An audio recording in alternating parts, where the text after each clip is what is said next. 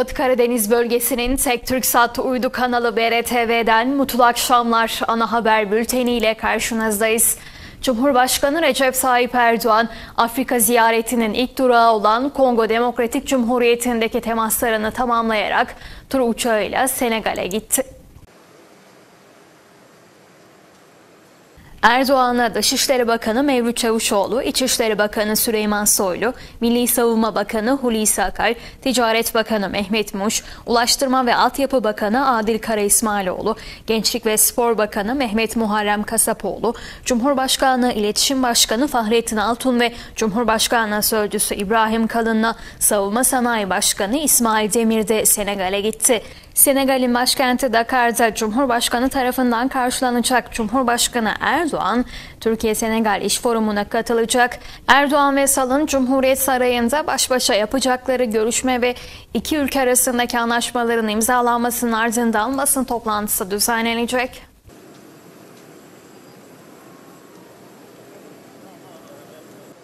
İyi Parti Genel Başkanı Meral Akşener çeşitli programlara katılmak için gittiği Mersin'de halka hitap etti. Akşener burada yaptığı konuşmada bu milletin huzura, adalete, liyakate ihtiyacı var. Ayrımcılığa, yandaşa hayır diyor dedi.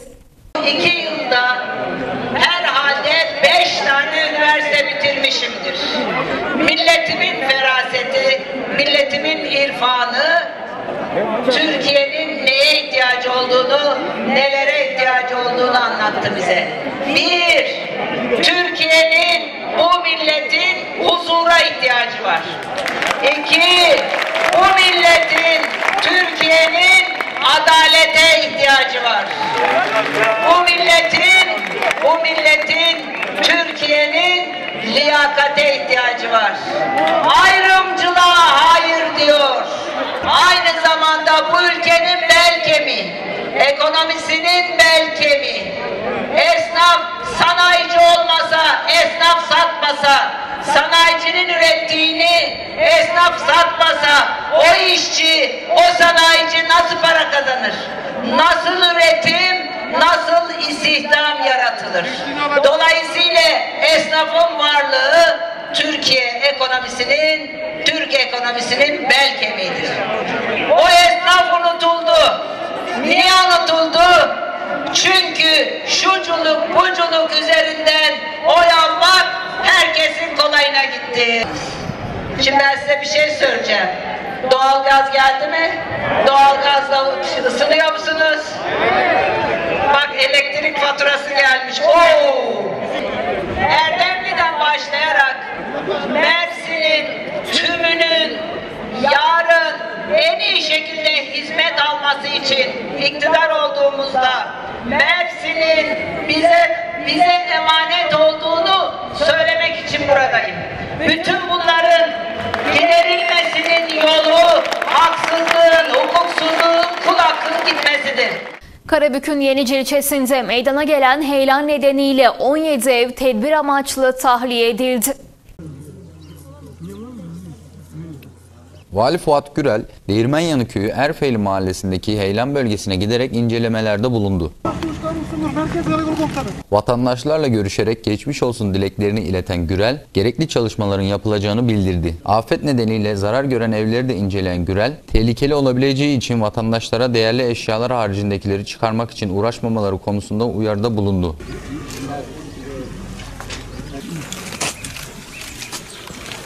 Maalesef e, son birkaç gündür burada bir e, zeminde hareketlenme olduğunu ihbarını aldı arkadaşlarımız. Hemen geldiler baktılar. E, son dönemde yağan, e, yoğun yağan karla beraber, geçen hafta yağmurla beraber karda bir erime ve daha sonra zeminde bir yumuşamadan dolayı e, görüyorsunuz çoğu yerde bir hareketlenme var.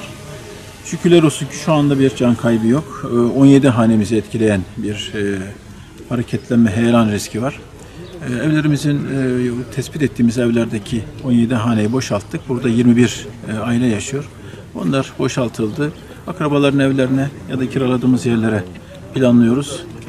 E, Kısa sürede de burada neler yapılabileceğini, nasıl bir durum ortaya çıkacağını tespit edip ona göre de vatandaşlarımızın çözümünü inşallah devlet olarak üretmiş olacağız. Yukarıda yer alan tehlikesi şu an için yok ama orayı da takip edeceğiz. Elektriğini vereceğiz. Yani bugün e, enerjisi ekiplerimiz burada. Onlar oranın elektriğini verecekler. Suyla ilgili bir sıkıntı var. Onun sularını sağlayacaklar. E, bir de buralar artık kullanılacak yollar da şu anda gittiği için e, başka mahallelerden yol imkanı sağlayacağız. Yani yukarıdaki tarafta yaşayan vatandaşlarımızın e, normal normale dönmesi için gerekeni yapacağız ama buradaki vatandaşlarımız da başka yerlere e, dünden itibaren taşındılar zaten. Bir iki evde daha vardı. Onları da taşıma kararı aldık. E, hem kısa vadede bu vatandaşlarımıza ekonomik olarak da destek vereceğiz, yardımcı olacağız ama daha sonra da konutlar nasıl yapılacak, nerede yapılacak onlarla ilgili çalışmaya da başlatmış olacağız. Bir anda catlama koptu. Muhtar aradım geldik. Hem yukarı yerlere baktık. Allah bizi biz gördük. E, Heyelan dün akşamdan başladı abi. Gün, gün içerisinde devam etti. Yollar göçük göçtü işte. Evlerin kenarları, duvarlar öyle devam etti işte. Sabah olduğunda da hala da devam etti yani.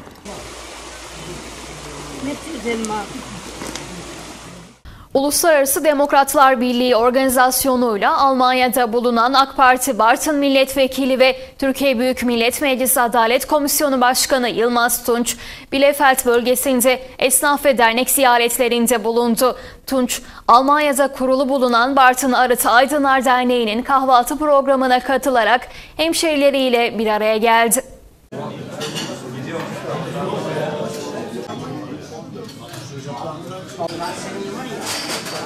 Uzunca bir zamandır böyle bir birleşmeye, bir araya gelmeye pandemi dolayısıyla hasret kalmıştık. Sayın Vekilimizin bölgemize teşrifiyle tekrardan eee, pandemi kurallarının müsaade ettiği kadarıyla tekrardan bir araya gelmek, hasbihal etmenin eee, mutluluğunu yaşamaktayım. Bielefeld UID e, Derneği'nin davetlisi olarak bölgemizde bulunan Sayın Vekilimizi bugün bizlerle buluşturan UID yöneticilerine de aynı zamanda teşekkür ederim. Uluslararası Demokratlar Birliği UID'nin UID'nin eskiden ismi farklıydı şimdi değişti. Ee, organizasyonunda biz e, Avrupa'nın değişik ülkelerinde ziyaretler gerçekleştiriyoruz. Onların etkinlikleri oluyor. Onlara katılıyoruz. Bu kapsamda da e, şu anda Almanya'nın değişik vilayetlerinde farklı illerin milletvekilleri var. Bartın milletvekili olarak da ben Bartınların yoğun olarak yaşadığı Bielefeld bölgesinde programlar gerçekleştirmek üzere Cuma günü buraya geldik. Yarın da inşallah döneceğiz. Üç günlük bir program oldu. Bu üç günlük programda Bielefeld bölgesindeki ziyaretlerimizi yapıyoruz. Dernekleri ziyaret ediyoruz. Esnaflarımızı ziyaret ediyoruz. Ev ziyareti yaptığımız durumlar oluyor. Ve vatandaşlarımızla burada hasret gideriyoruz. Onlarla buluşuyoruz. Evet sevgili vekilim hoş geldiniz. Hoş bulduk. Bugün bize ev sahipliği yapan Arıt Aydınlar Dernek Başkanımıza, yönetim kuruluna, kadın kolları başkanımıza ve buradaki hizmette emeği geçen bütün arkadaşlarımız adına onları tebrik et, teşekkür ederken sizlere de hoş geldiniz diyorum. İnşallah onların tabii ki bundan sonra da sormak istedikleri e, hususlar olursa her zaman telefonumuzun açık olduğunu da onlara ifade ettik. Arıt Aydınlar Derneğimiz bu bölgede yaşayan hemşerilerimiz arasındaki birlik ve beraberliği, dayanışmayı, kaynaşmayı en güzel şekilde sağlıyor. Ben dernek başkanımız yönetimine ve bunun daha önce derneğin kurulmasına vesile olan tüm e, arkadaşlarımıza çok teşekkür ediyorum. Bizler de onlarla irtibat halinde Evet. e, yapılabilecek ne varsa onların birlik bütünlüğünü sağlama adına her zaman arkalarında e, olmaya devam edeceğiz inşallah. Onların buradaki birlik bütünlüğü bizleri sevindiriyor. Evet. Çünkü onlar memleketlerinden kopmadı. Yani e, tabii seçimden seçime ziyaretler çok makbul ziyaretler değil. Önemli olan seçim olmadan e, gelip hal hatır sormak, onları dinlemek. Biz iktidarız, hükümetiz. Dolayısıyla e, yapılabilecek bir şey varsa, gerek yasamayı ilgilendiren, gerek yürütmeyi ilgilendiren e, bir husus varsa da bunu burada aldığımız bilgiyi Ankara'ya aktarmak. Ben Adnan Derviş. Ee, 34 yıldır Almanya'dayım. 32 yıllık firmayım. Ee, Bugün e, Türkiye'den gelen e, Bartın AK Parti Milletvekili Sayın e, Yılmaz Tunç Bey Efendi'yi karşıladık, ağırladık. Gerçekten çok güzel demeçler verdi. Sorunlar, sorunlarını halkla paylaştı. Ve halkın özlediği bir toplantı oldu. En azından karşılıklı sohbet halinde ve sorunların çözümü için ileri, ileri dönük güzel e, vaatler verdi. Adım Halil İbrahim Kayacan. Balıkesirliyim. Bugün vekilimiz geldi. Biz de buraya davet şeklinde geldik. Güzel bir kahvaltı yaptık. Teşekkür ederiz. Türkiye'ye çok selamlar. Kendim Balıkesirliyim. Ayrıca oğlum Kerem Kayacan'a Türkiye'ye öpücüklerle selam gönderiyorum. Allah razı olsun. AK Parti Zonguldak Milletvekili Hamdi Uçar 3 gün boyunca Almanya'da gurbetçi hemşerileriyle bir araya geldi. Avrupa Devrekler Derneği'ni ziyaret eden milletvekili Uçar, dernek yönetici ve üyeleriyle Almanya'da yaşamlarını sürdüren hemşerilerimizin sorunlarını dinledi. Herkese hoş geldiniz diyorum. Başkanımıza da, e, vekilimize de aynı zamanda e, bu ziyaret için de bizi onurlandırmış oldu. Ben devletliyim ama ben Kozyazlıyım, Bartın'dayım. Adım Dursun Baş, Eser'de oturuyorum. Ee, 2014'ten e, 93 yılında Almanya'ya geldim. 1974 doğumluyum, 4 çocuk. Korku bölgesiyim. Ben Vedat Karagüler. 1967 Zonguldak Devlet doğumluyum. 1990 yılında Almanya'ya geldim. 5 tane çocuğum var. Şu anda kendi işimle meşgulüm. Yani bahçıvan, peyzaj işleriyle uğraşıyorum. İsmim Muharrem Çakan. 1994'te Almanya'ya geldim. Ee, şu anda yaklaşık olarak 15 yıldır, 18 yıldır emlak sektöründeyim. Ee, ticaret e, ve meşgulüm. Yani araç pazarlaması yapıyoruz çocuklar için, büyükler için, elektrikli, benzinli. Külyos bölgemizin hatta ülkemizin en önemli proje, üçüncü projelerinden bir tanesi. Ee, bölgeyi e, İslam açısından, üretim açısından ayağa kaldıracak proje. Herkes bunu bekliyor. Şimdi orada çok ciddi bir yatırım var. Ya, yaklaşık iki buçuk, eski parayla iki buçuk katrilyon civarında bir yatırım yapılıyor. 19 geminin aynı anda ülkeden boşaltma yapabileceği e, büyük bir liman orada. Evet, Perşembe gün akşam Almanya'ya ulaştık. Almanya ziyaretler, ziyaretlerimize başladık. Dün ve bugün yoğun bir şekilde sivil toplum örgütlerimizi, derneklerimizi, vatandaşlarımızı, hemşerilerimizi ziyaret ediyoruz. Yoğun bir gündem. Ee, Dün ve bugün yapmış olduğumuz ziyaretlerde vatandaşlarımızın, hemşerilerimizin özellikle Almanya'da yaşamış olduğu sorunları, sıkıntıları, talepleri, dilek ve temennileri yerinde incelemek, onlarla birlikte olmak, onların e, fikirlerini alma adına çok önemli bir süreç olduğuna inanıyorum. Onların da e, bu sorunların çözümü konusunda, tavsiye ve öneri, öneriler oldu.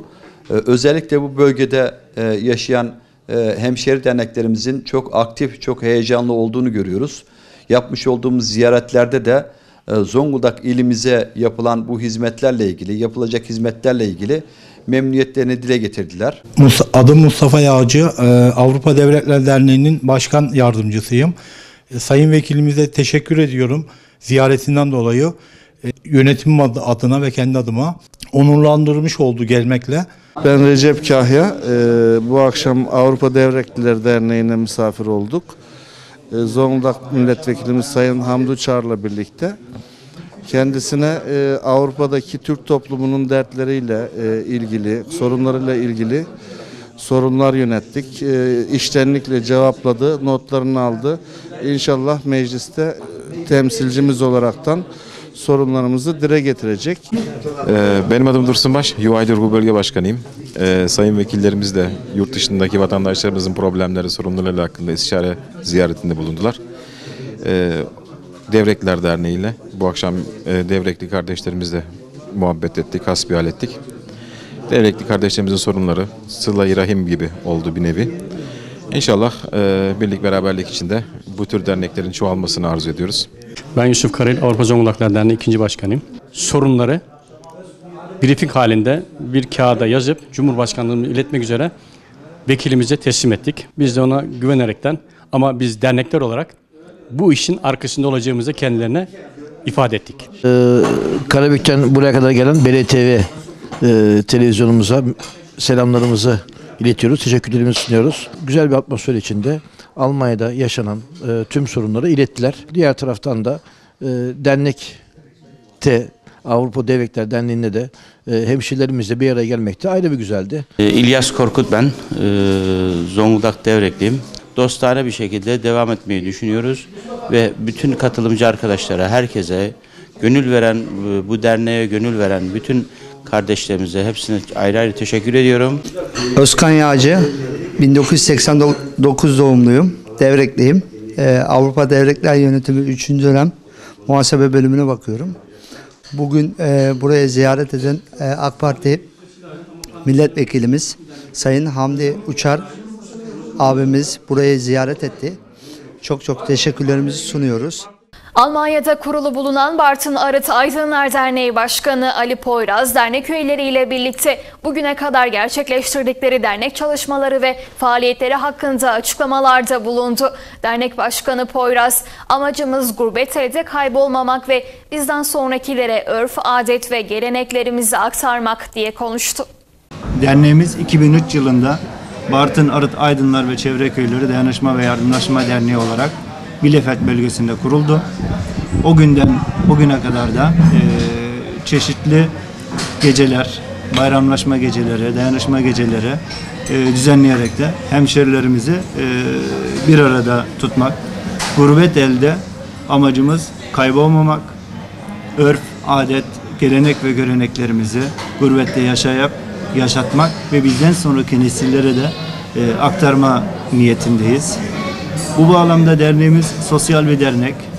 Her yıl e, yaklaşık e, Arıt bölgesinden yüksek tahsil yapan e, en az 10 15-20 öğrenciye kadar yıllık karşılıksız olarak burs vermekteyiz. Eğitim desteği vermekteyiz. Yine aynı şekilde e, hasta vatandaşlarımıza e, çok şükür e, son yıllarda e, sağlık konusunda ülkemizde çok e, önemli, değerli gelişmeler var. Ama buna rağmen hasta olan vatandaşımız ilk etapta işini kaybediyor. E, işini kaybettiği için geçim sıkıntısına giriyor. Dolayısıyla e, özellikle çağımızın vebası olan kanser hastaları Zonguldak'a kemoterapiye gitmek zorunda kalıyorlar. Biz de bu e, kardeşlerimize, vatandaşlarımıza elimizden geldiği kadar kira yardımı, yol e, yardımı gibi maddi desteklerde bulunmaya çalışıyoruz. Biz artık burada kalıcıyız. Memlekette bağlarımızı koparmayalım ama orası bizim vatanımız. Allah kimseyi vatansız bırakmasın. Onu göç eden insanlarda görüyoruz. Siz de buralarda görüyorsunuz. Biz buradaki gençliği anlamaya çalışarak onlarla birlikte neler yapabilirimizi konuşmamız lazım. Aramızda kardeşlerimiz var. Sizi tanıyabilir miyiz? Muradiye Poyraz. Muradiye Hanım, e, kaç senedir Almanya'dasınız? 28. 28 yıldır. Kaç çocuk var efendim? 4 tane. Güzel. Dernekte bir aktiviteniz var mı? Ee, eşimin destekçisiyim. Ben Ayşe Bulut. 86'dan beri Almanya'dayım. Derneğin ilk kuruluşundan beri yanındayız hep. Her zaman yanındayız devrenimiz. Döndü Çakır. Bak bir de farklı bir soy isme denk geldi. evet efendim. Ben de 87'den beri Ünal ve Göktaş ailelerinin mutlu günü Karabük Milletvekili Cumhur Ünal'ın oğlu Halit Enes Ünal'la Rümeysa Göktaş Ankara'da düzenlenen görkemli düğünle dünya evine girdi. Çiftin nikah şahitliğini AK Parti Grup Başkan Vekili Bülent Turan, Tarım ve Orman Bakan Yardımcısı Fatih Metin, Karabük Milletvekili Niyazi Güneş, Memleket Partisi Genel Başkan Yardımcısı Hüseyin Avni Aksoy, Samsun Milletvekili Fuat Köktaş, AK Parti Karabük İl Başkanı İsmail Altınöz, Trabzon eski milletvekili Kemalettin Göktaş yaptı. Ankara İncek Arena'da yapılan düğüne Çankırı Milletvekili Salim Çivitçioğlu, Burdur Milletvekili Bayram Özçelik, Afyon Milletvekili Ali Özkaya, kaymakamlar, belediye başkanları, Karabük siyaset, cemiyet hayatından, odalardan çok sayıda kişi, muhtarlar ve iş insanları katıldı. Bizler de yeni evli çiftlere bir ömür boyu mutluluklar diliyoruz.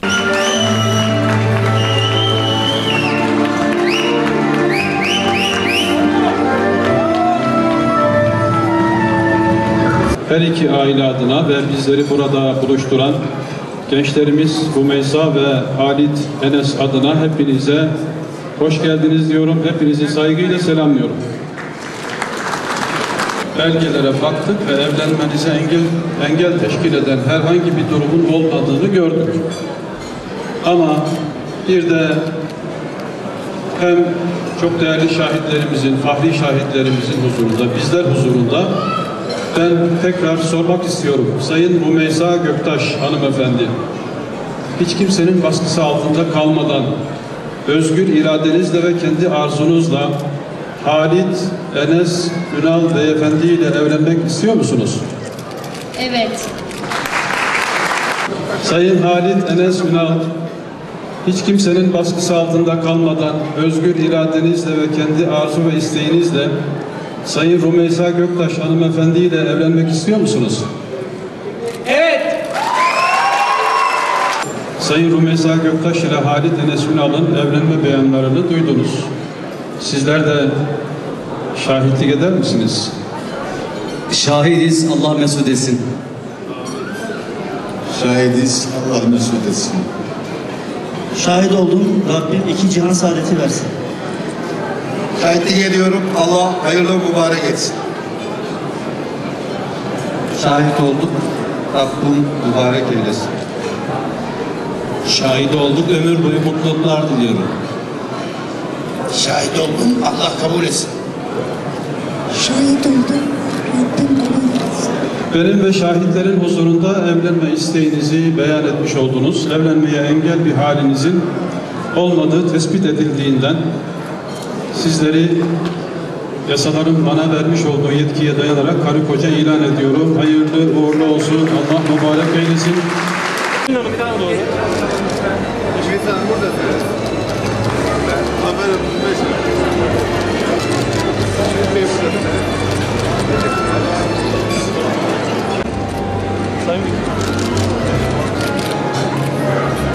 İşimiz ve sayın şahidim. Evet sayın şahidim. Vekilim. Bugün çok kıymetli Göktaş ailesinin ve Ünal ailesinin kıymetli evlatlarının nikahları için bir aradayız. Bizlerin resmi şehadetinde, sizlerin fiili şehadetinde bu güzel ana vekillerimizle, arkadaşlarımızla şahitlik ettik. Öncelikle Allah mesut etsin. Allah bir yastıkla kocakma imkanı versin. Hayırlı, bol evlatlar nasip etsin. Bu güzel ana hep beraber şahitlik ettik. Ben tekrar tüm şahitlerimiz adına eğer izin verirlerse bu emaneti kızımıza, evladımıza ömür boyu saklamak, kollamak kaydıyla teslim etmek isteriz. Hayırlı olsun. Evet.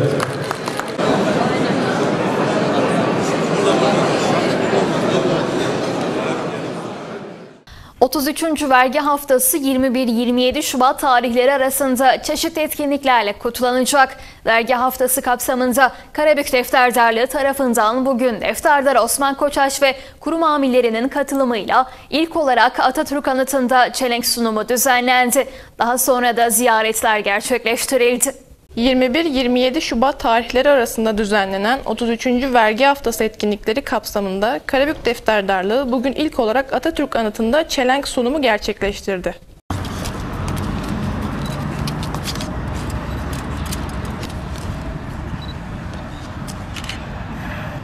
Bilindiği gibi vergi, kamu harcamalarını finanse etmek, ekonomik ve sosyal hayatı düzenlemek için cebri, nihai, karşılıksız olarak gerçek ve tüzel kişilerden kazançları, harcamaları ve servetler üzerinden alınan parasal bir yükümlülüktür. Mükellef ise vergi kanunlarına göre kendisine vergi borcu yüklenilen gerçek veya tüzel kişidir.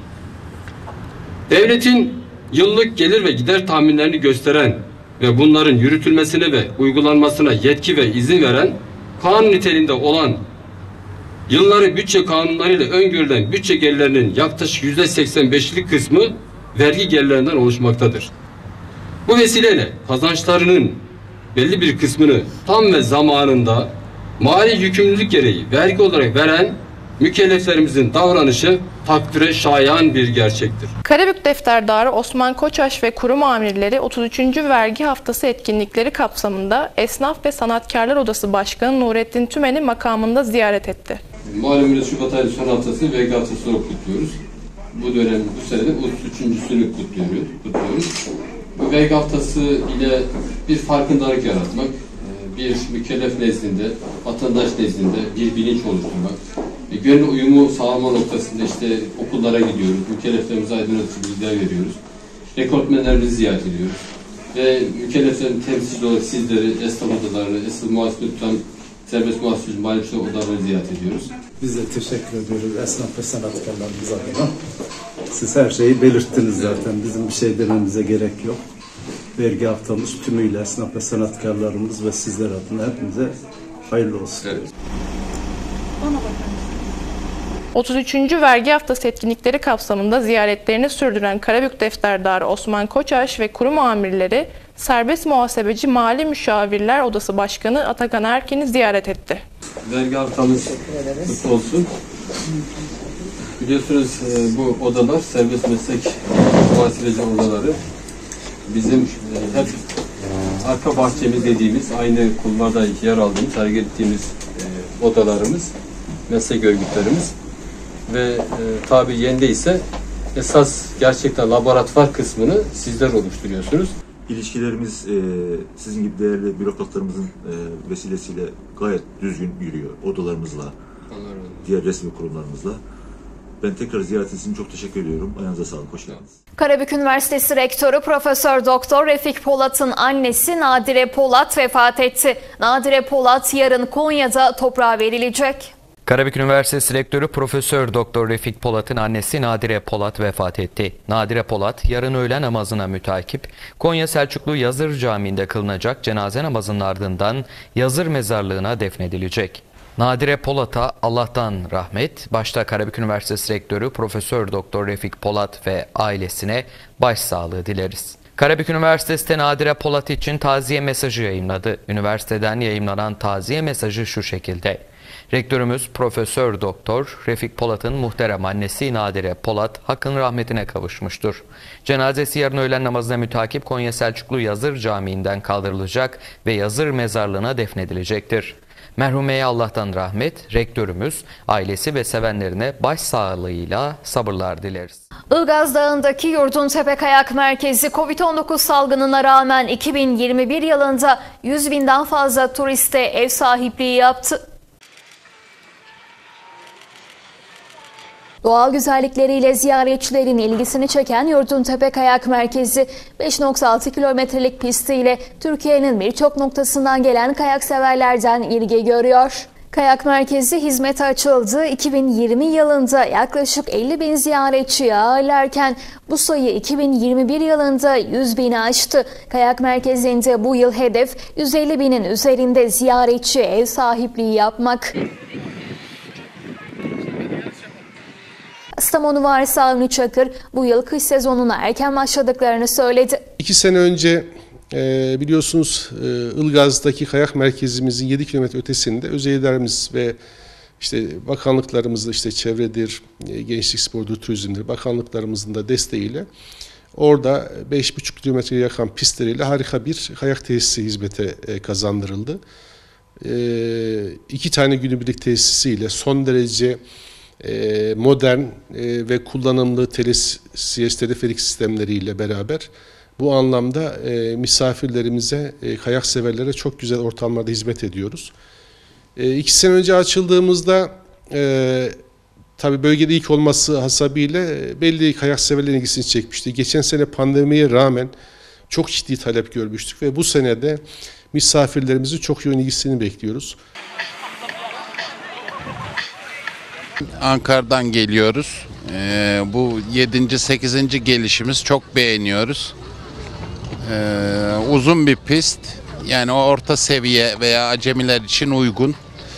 Ee, profesyonelleri belki kesmeyebilir ama karı da güzel. Keyifli.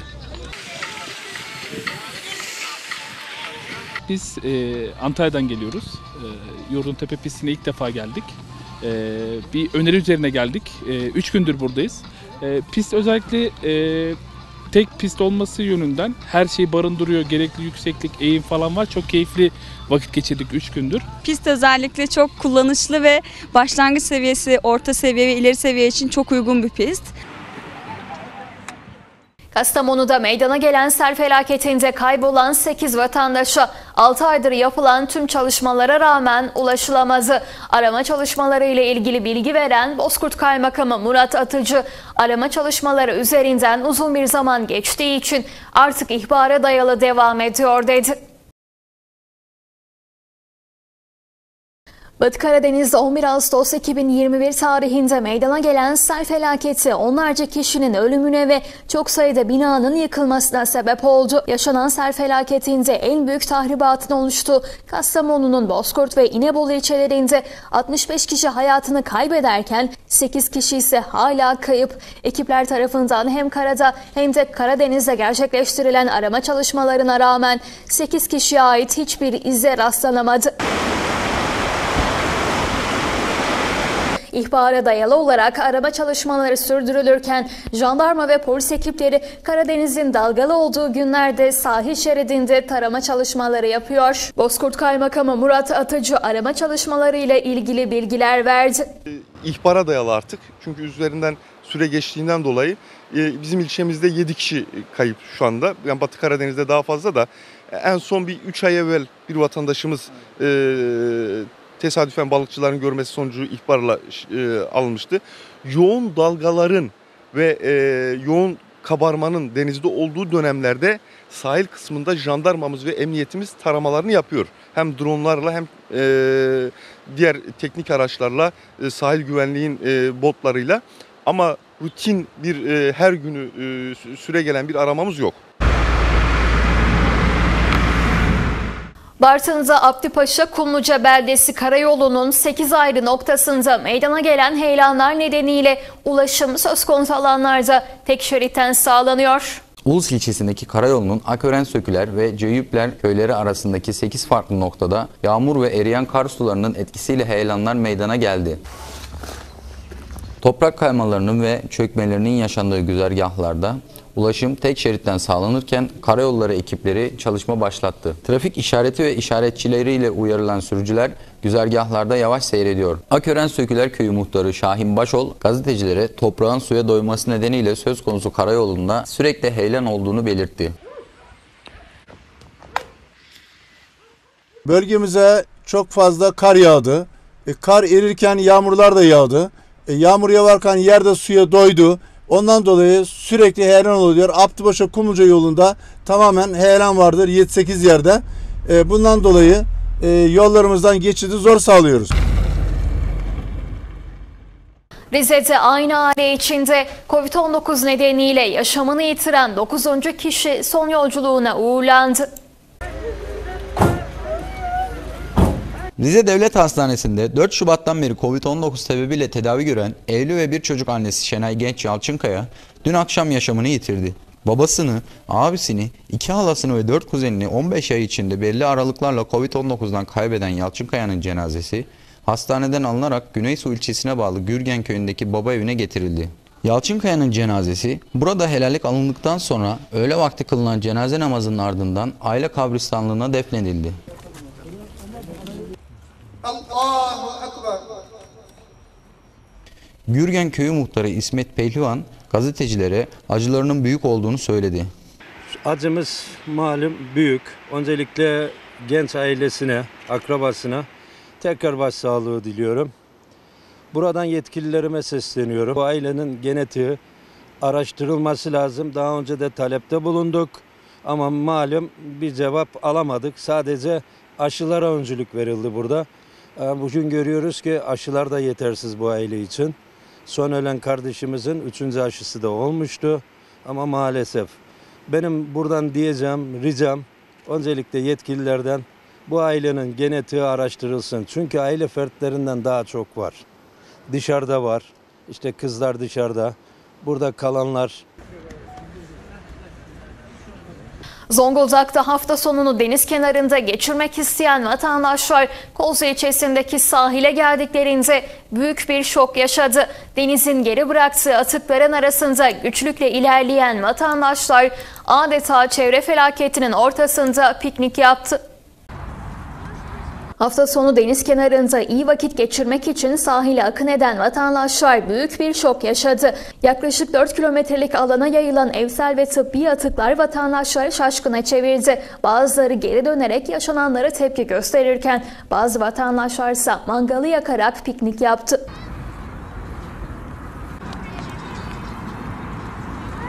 Bazı alanlarda kumsalı tamamen kapatan çöplerin arasından yürümeye çalışan vatandaşlar deniz kenarına ulaşmayı başardı.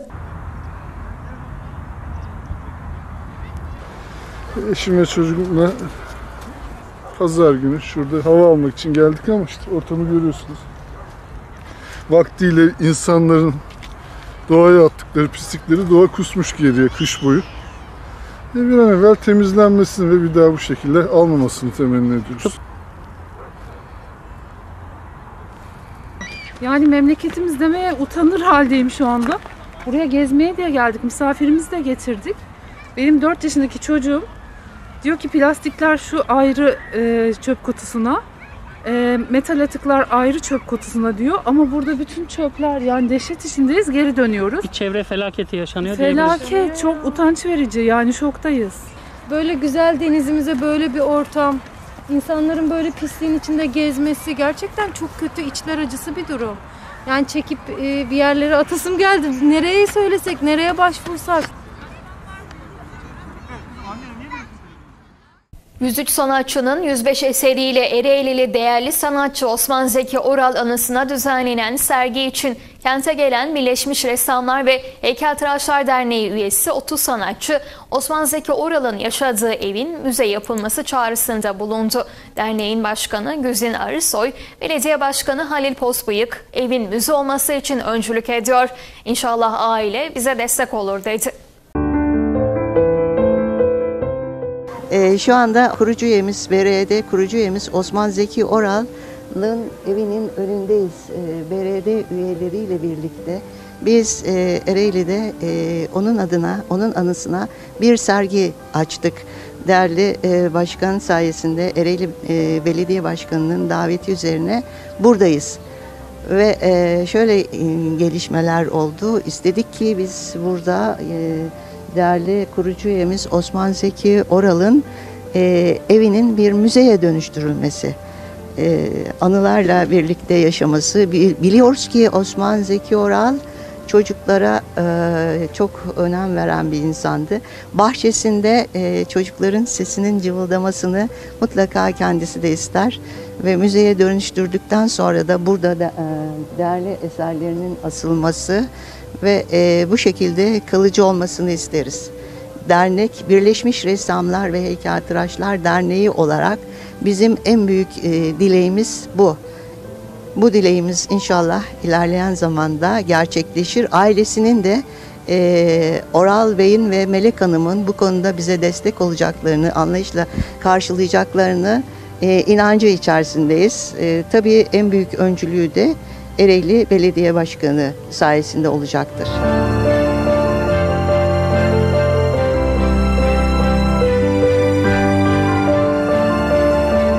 Hepimizin dileği, e, dileğimiz umarım önümüzdeki yıllarda biz Osman Zeki Oral'ın e, müzesine ziyarete geliriz. Evet.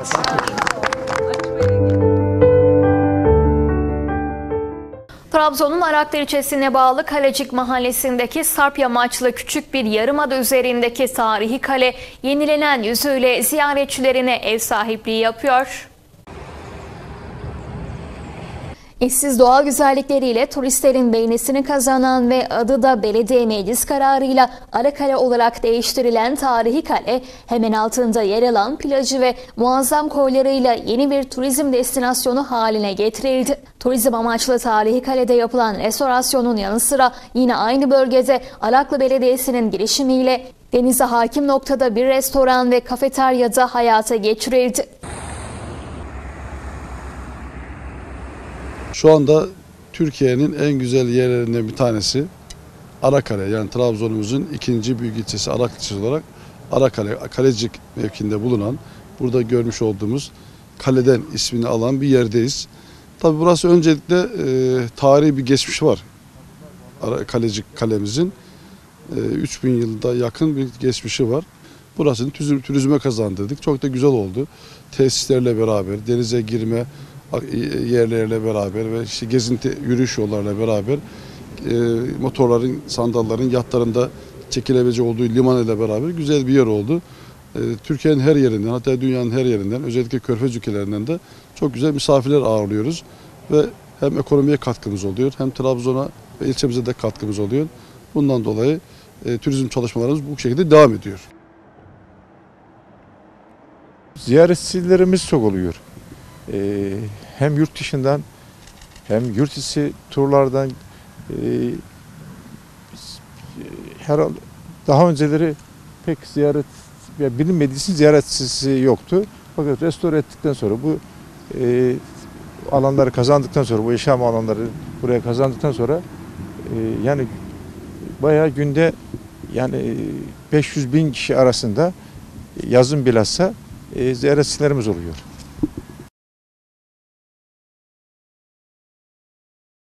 Karabük Üniversitesi Sosyal Bilimler Meslek Yüksekokulu öğretim görevlisi Cengiz Çokparsal 13 yıldır hafta sonları UNESCO Dünya Mirası listesindeki Safranbolu'da turistlere rehberlik yaparak tarihi ilçeyi tanıtmaya çalışıyor. Şimdi e, bir düzen var. Orada herkes aynı işi yapıyor. Çokparsal, Osmanlı döneminden kalan han, hamam, cami, çeşme ve köprülerin yanında genellikle 3 katlı 6-8 odalı tasarlanan geleneksel estetik konakların bulunduğu tarihi ilçeye gelen turistlere 13 yıldır hafta sonları rehberlik hizmeti veriyor. Bir hikaye var, yapım hikayesi. Bir kere tabii ki sevmek lazım. İnsanlarla iletişiminizin iyi olması lazım. Bu olmadıktan sonra zaten hani e, yapmanız söz konusu değil. Yani e, neticesinde bir zaman ayırıyorsunuz. Yeri geliyor ailenizden zaman ayırıyorsunuz. E, onlara ayırmanız gerekeni dışarıda vakit geçiriyorsunuz. Ya, öbür türlü baktığınız zaman dediğiniz gibi sevmediğiniz zaman bu işi yapmanız çok mümkün değil. 45 gün sonra elimde görmüş olduğunuz gibi çiçek açıyor. Öncelikle e, 21 Şubat Rehberler Günü tüm meslektaşlarımın kutlu olsun.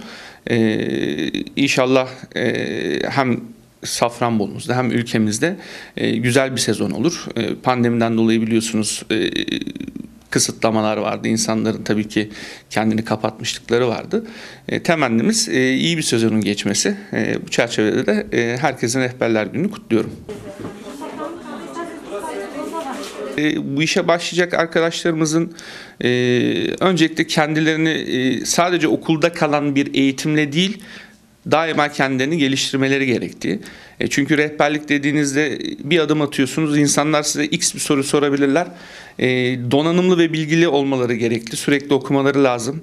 Bu okumayı gerçekleştirmeleri lazım. Çünkü rehberlik tamamen tecrübeye dayalı bir meslek, bilgiye dayalı bir meslek. Dolayısıyla e, sadece okulda alınan eğitimle değil aynı zamanda kendilerini de farklı şekillerde geliştirmelerini tavsiye ederim.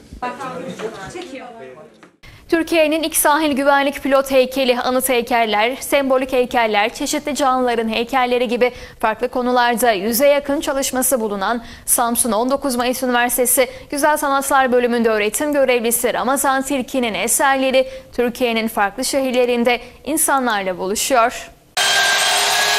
Türkiye'nin birçok şehrinde imzası bulunan öğretim görevlisi Ramazan Tilki'nin heykelleri kamu kurumlarında, müzelerde, meydanlarda, özel iş yerlerinde sergileniyor. 19 Mayıs Üniversitesi Güzel Sanatlar Fakültesi'ndeki bir atölyede yeni projeler üzerinde çalışan Ramazan Tilki, öğrencilerinin ileride iyi bir sanatçı olması için de elinden gelen desteği veriyor.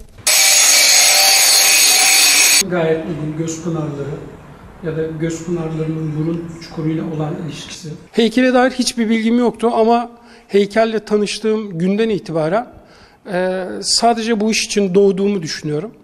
E, milyonlarca kez bu hayata tekrar gelsem sadece bu işi yapmak isterim.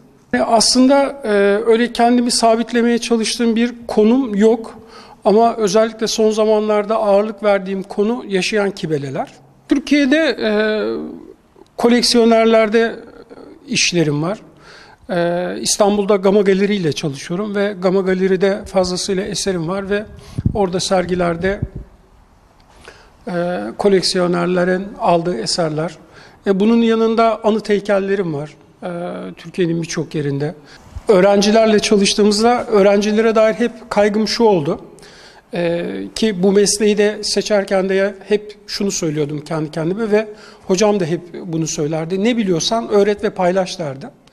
E, denediğim ne varsa teknik olarak, konu olarak, yaptığım malzeme olarak e, burada bu işi yapmak isteyen tüm öğrenci arkadaşlarım bunu öğretmek için elimden geleni yapıyorum. Bu bölüme resim çizmek için gelmiştim ama Ramazan Hoca ile tanıştığımda heykeli de bir o kadar çok sevdim. Ee, gelecekte heykelle ilgili bir şeyler yapabilir miyim düşüncesini Ramazan Hoca bana kazandırdı. Bolu'nun tabiat harikası olan ve yüzeyi tamamen donan Sünnet Gölü'nde buzlar erimeye başlayınca ölü balıkların acı manzarası ortaya çıktı. Bolu'da havaların soğumasıyla birlikte Göynük ilçesinde bulunan Sünnet Gölü buzla kaplandı. Buzla kaplanan gölde kıyı kesimlerde hava ısınmaya başlayınca buzlar erimeye başladı. Buzların erimesiyle birlikte göl kıyısında balıkların buzun içinde donarak telef olduğu ortaya çıktı. Göle ziyarete gelen vatandaşlar buzların içinden çok sayıda ölü balık çıkarttı. Uzun süredir burada bulunan balıkların öldüğü, havaların ısınmasıyla birlikte bozulup parçalanmaya başladığı gözlendi. E, Sünnet Gölü'ne gezmek için geldik. E, Sünnet Gölü buz tutmuş harika bir manzarası var. E, burada farklı bir manzarayla karşılaştık. Donan gölde balıklar donmuş ve telef olmuşlar. Bu bizi çok üzdü. E, güzel bir görüntüler var ama balıkların donması üzdü. Çok sayıda balık burada telef olmuş. Kıyıya vurmuşlar herhalde soğuktan dolayı. Buzun üzerinde çok sayıda ölü balık gördük. Bu durum bizi çok üzdü. E, göletin kıyı şeridi komple e, ölü balıklarla dolu dolmuş gölün içerisinde. Buzu kırdığınız zaman balıklar yüz- e, yüzeye çıkıyorlar. Buz, o- buz olmuş. Ondan sonra balıka ölmüş ve Türkiye'den 2016-2021 yıllarında gerçekleştirilen Türk somon ihracatından elde edilen gelir yaklaşık 82 kat arttı.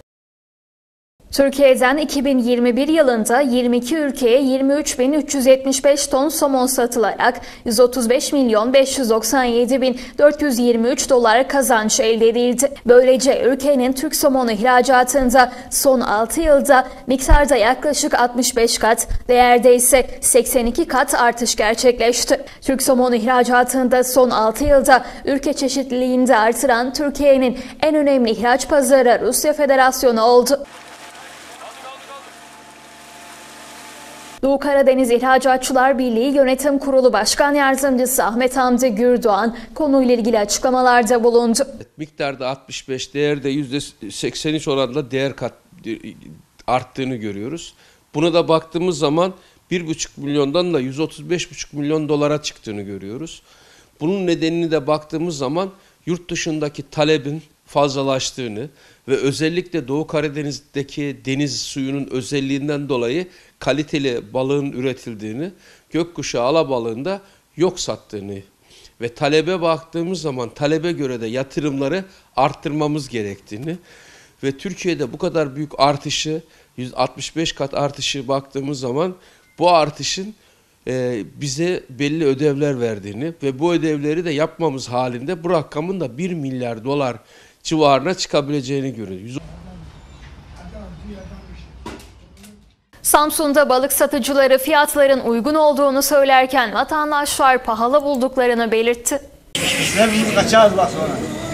Samsun'da vatandaşların balığa ilgisi devam ediyor. Yoğunluk yaşanan tezgahlarda zaman zaman satıcılar ve vatandaşlar fiyat konusunda fikir ayrılıkları yaşıyor. Balık satıcıları fiyatların uygun olduğunu savunurken bazı vatandaşlar fiyatı pahalı bulduklarını belirtiyor. 25 abi Balık fiyatları çok ucuz, çok düştü. Talip çok. Vatandaş balığa yöneldi. Ee, satışlarımız çok güzel. İstavrit 15, barbun 15, ee, hamsi 25. Balıklar çok güzel. Talip var. Mezgit 25, iri mezgit. Hayır, tam ta- tam aksine ucuz yani. Tavuk zaten 30 lira. Balık 15 lira. Bedava. İki kişi doyar. Rahatlıkla. La balık fiyatları bedava. Tavuk olmuş 40 lira, et olmuş 100 lira. Balık yine bedava. 15 lira, 20 lira balığın kilosu. Hamsi 25 lira abi. Vatandaş balık yiyor. Şu an vatandaşın en fazla yediği hamsi tabii ki de biliyorsun. Kar yağdı, hamsi yağlandı, lezzetlendi, boyu büyüdü, fiyatı da uygun 25 lira. Vatandaşın ilk gözdesi hamsi 25 lira. Her gün satıyoruz fazla fazla satıyoruz hamsiden. Peşine mezit balığı geliyor 15 lira kilosu. Ondan sonra istavrit geliyor 20 lira kilosu. Barbunya satılıyor 20 lira kilosu. Gayet uygun yani. İyi güzel 25. İstanbul'da 35 lira. 40 lira hamsi. Ben bundan alırım, İsrail alırım, saman balığı alırım, saman. Şu an pahalı. Ya beşer lira daha uygun olsa halk daha iyi yer bence. Yola çıkacağız hepsinden azar azar aldık işte ikişer kilo, üçer kilo. Balık fiyatları pahalı. Çok pahalı. Burada yeri yani yeri burası olduğu halde ucuz olması lazım. Karadeniz burası. Vallahi işte uygun hangisi olursa ondan almayı düşünüyoruz. İstanbul'da pahalı. Ben İstanbul'dan yeni geldim zaten. İstanbul'da daha pahalı. Çabuk kaça yok hamsi 25. Ay maşallah. Türkiye'nin önemli kış turizm merkezlerinden Ilgaz Dağı'nda bulunan Ilgaz Yurdun Tepe Kayak Merkezi'nde hafta sonu yoğunluk yaşandı. Ziyaretçiler 2000 metre yükseklikteki pistte dağın doğal güzellikleri arasında kayak ve snowboard yapıp kızakla kayıp keyifli vakit geçirdi. Pistleriyle kayak severlerden yoğun ilgi gören Yurduntepe, kızakla kaymak isteyen küçük ziyaretçilerine de eğlenceli kış tatili imkanı sunuyor.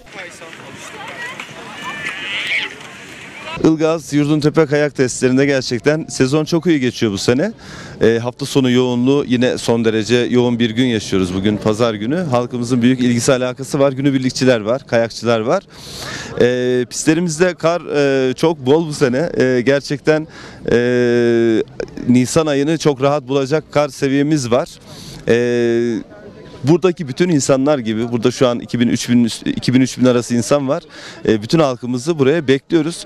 Özellikle İç Anadolu bölgesinden e, yoğun bir ilgi alaka var Ankara bölgesinden. E, biz de misafirlerimizi en iyi şekilde ağırlamaya çalışıyoruz. Her sene bu zamanlar Şubat ayı sonlarında Ilgaz'a kaymaya geliyoruz. 4 gün, 5 gün, bir hafta. Olanaklar gayet güzel, güvenli. Yıllarca ayağımızın dibindeki güzelliği keşfedemedik. Ben 35 yaşından sonra başladım. 8 sene kayak yaptım. Şu an 43 yaşındayım ve bu arada daha yeni başladım. Keşke daha önce yapabilseydim. BRTV'de 11 yıl teknik müdür olarak görev yapan değerli arkadaşımız Olcay Ulusoy'u 30 Aralık'ta son yolculuğuna uğurlamıştık. Ulusoy için Fevzi Çakmak Mahallesi Fatih Çağneyinde Mevlid-i Şerif okutuldu. Ya ilahi.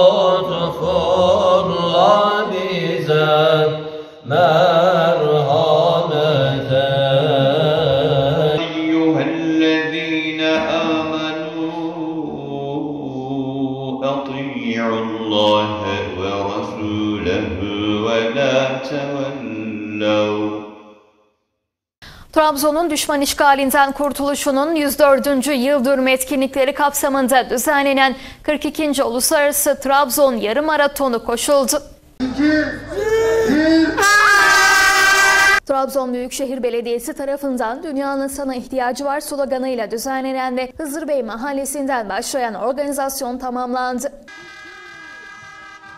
Bu arada Trabzon Valisi İsmail Ustaoğlu, Büyükşehir Belediye Başkanı Murat Zorluoğlu, Türkiye Atletizm Federasyonu Başkanı Fatih Çimtimar ve bazı kurum amirleri de halk koşusuna katıldı. Vali Ustaoğlu ile beraberindekiler yarışmada dereceye giren sporcuları tebrik etti. Ülkemizin farklı yerlerinden Buraya gelen sporcularımız var. Trabzon halkı adına onlara da hoş geldiniz diyoruz. Bunlar her yıl geleneksel olarak bizim ilimize gelen, ülkemizin farklı bölgelerinden buraya gelerek bizim bu yarım maraton koşumuza katılıyorlar. Biz de gerçekten Trabzon olarak bundan çok mutluluk duyuyoruz. Biliyorsunuz Türkiye'nin eski en uzun soluklu yarım maratonlarından bir tanesi Trabzon'da koşuluyor. Bu sene 40.si 42.sini düzenliyoruz. Gerçekten çok coşkulu, çok heyecanlı bir start verdik az önce. Türkiye'nin ve dünyanın değişik yerlerinden bu maratona katılmak üzere gelen çok elit sporcular var ve çok sayıda sporcu bu maratonu kazanmak için şu anda efor sarf ediyor.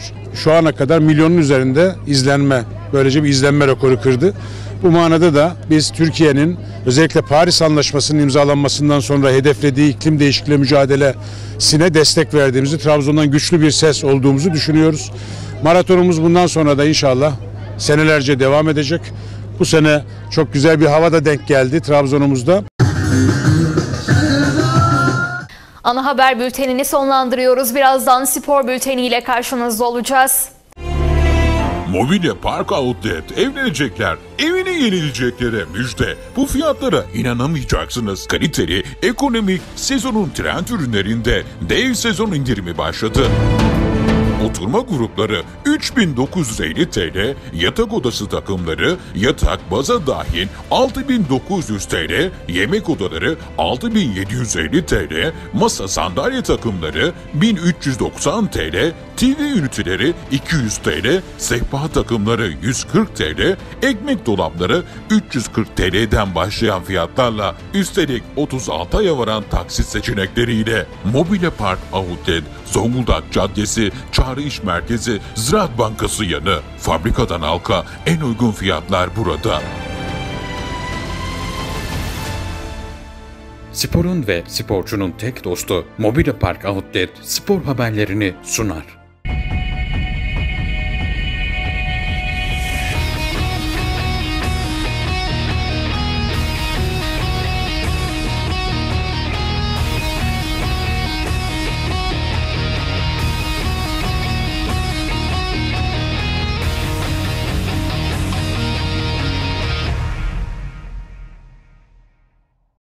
Spor bülteniyle karşınızdayız. Türkiye Boks Federasyonu'nca okul sporları kapsamında Karabük'te düzenlenen Gençler B Türkiye Boks Şampiyonası sona erdi.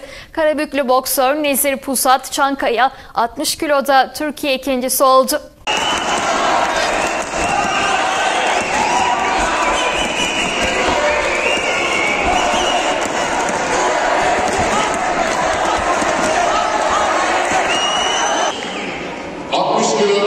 Türkiye şampiyonu. Bu arada mavi tişört.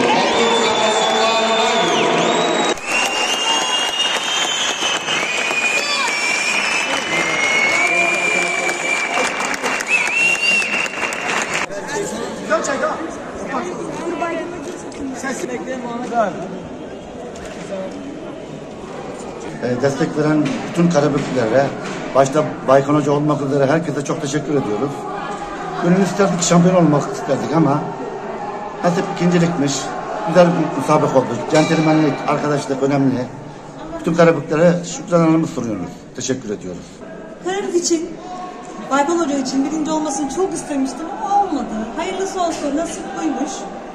Yani çok mutluyuz, gururluyuz. İnşallah bir dahaki sefere Baykan Hoca'nın yüzünü güldürecek diye düşünüyoruz. Madalya getirmek tabii ki beni mutlu etti.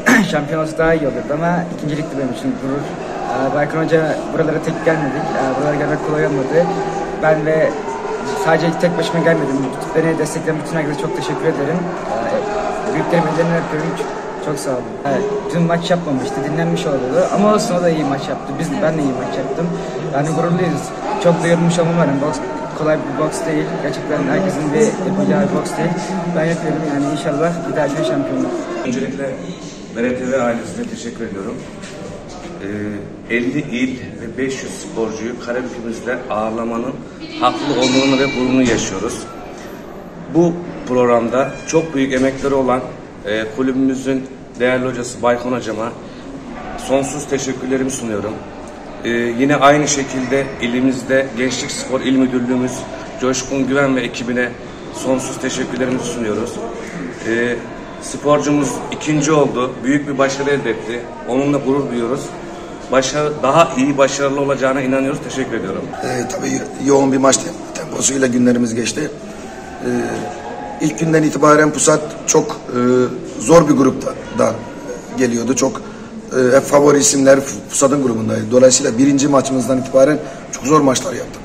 Ee, üstelik yarı çeyrek finalde ve yarı finaldeki rakiplerimiz Türkiye dereceleri. Hatta yarı finalde oynadığımız sporcu Avrupa geçen yılın Avrupa ikincisi, Türkiye şampiyonu ve Avrupa ikincisiydi. Dolayısıyla e, biz çok efor sarf ederek finale geldik. E, diğer karşı, karşı gruptan gelen sporcumuz e, biraz daha zayıf rakiplerle oynayarak finale geldi. Tabii ki bu bizim için mazeret değil ama e, biz biraz daha yorgun, yorgun geldik. Çünkü dün çok ağır bir maç yaptık. E, rakibimizin e, rakibi yarı finalde çıkmadığı için dolayısıyla bir maç yapmadan geldi. E, onun için e, gönül isterdi ki elimizde şampiyon olalım ama tabii Pusat e, takdir edersiniz ki bu turnuvanın en küçük sporcusu. 2008 doğumlu gerçekten e, alnının hakkıyla ve üst düzey maçlar yaparak geldi. Onun için kendisini tebrik, tebrik ediyorum.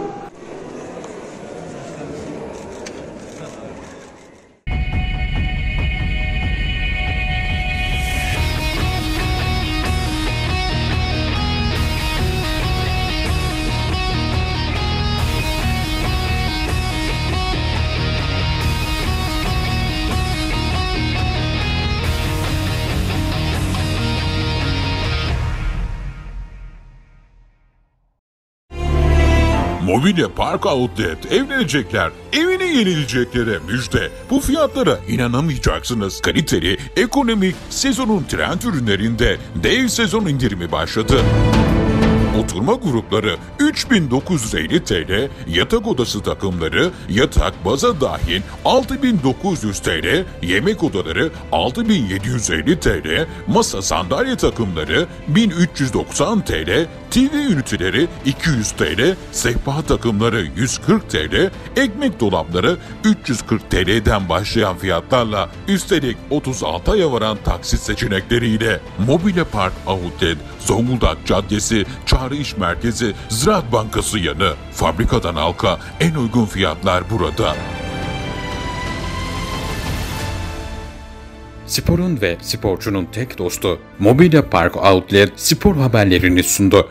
BRT ve ana haber bültenini sonlandırıyoruz. Yarın akşam aynı saate tekrar karşınızda olmak dileğiyle. İyi akşamlar.